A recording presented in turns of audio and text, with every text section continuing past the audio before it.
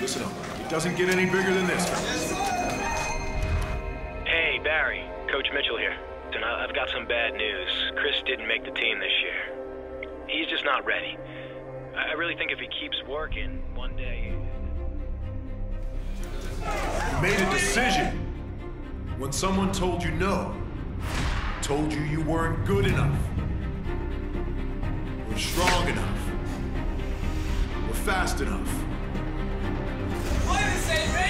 Remember that decision.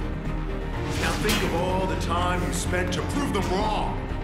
Nothing was more important than shutting them up. Now it's all paid off. The years of hard work, of sacrifice, and no one can take this moment away from you.